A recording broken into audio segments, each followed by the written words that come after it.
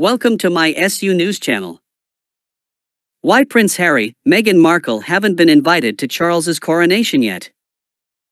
The invitations for King Charles's coronation have not been sent out, but Prince Harry and Meghan Markle will definitely be on the list, royal sources have told Page 6. Sources told People magazine last week that the Duke and Duchess of Sussex have yet to be invited to the ceremony, but one royal insider told us, it's still very early days, no one has been invited yet. Another source confirmed to the Post on Monday that the guest list has yet to be finalized, therefore no invites have been sent out. Charles will officially be crowned monarch on May 6 at Westminster Abbey, alongside his wife, Queen Consort Camilla. Page 6 has repeatedly been told that the Sussexes will be invited, despite their fractious relationship with the royal family, which is said to be particularly tense in the wake of Harry's memoir, Spare, and the couple's Netflix show, Harry and Meghan. There has been chatter in the UK that Harry may travel alone from California for the coronation, but the Royal Insider confirmed Monday everyone is expecting Harry and Meghan, Charles wants them both there. The date also coincides with their son Archie's fourth birthday.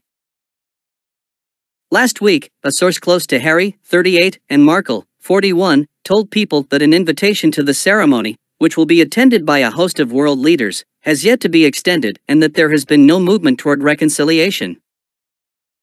In an interview with ITV's Tom Bradby to promote his book last month, Harry said of the coronation, there's a lot that can happen between now and then.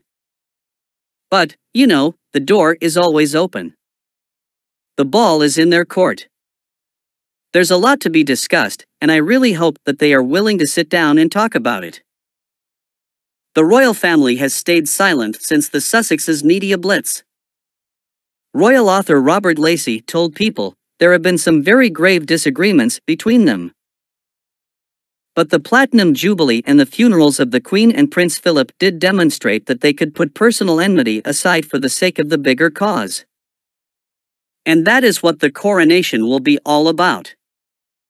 Last week, Charles offered an apparently unintentionally humorous response when asked whether his estranged son would be welcomed back into the royal fold.